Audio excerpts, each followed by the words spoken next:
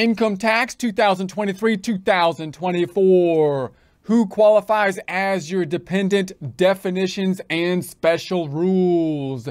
Get ready and some coffee because we're setting our refund to the max with income tax preparation 2023 2024.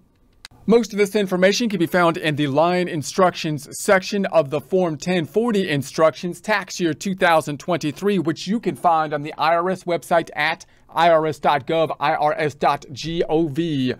Looking at dependents, remembering that every time we look at a particular item for income taxes, we want to visualize the income tax formula and think about the primary line items that would be affected from it, and then think about the residual effects of the changes to those line items on the income tax formula when we're thinking about dependents, the primary line items are generally the credits down below. So if we have a single taxpayer who has a dependent, then they might get a child tax credit, which could have a refundable portion to it possibly, or other dependent credits. However, there also could be changes to filing status. For example, going from single to head of household could be largely dependent on a dependent and that could affect the standard deduction as well as the tax rates.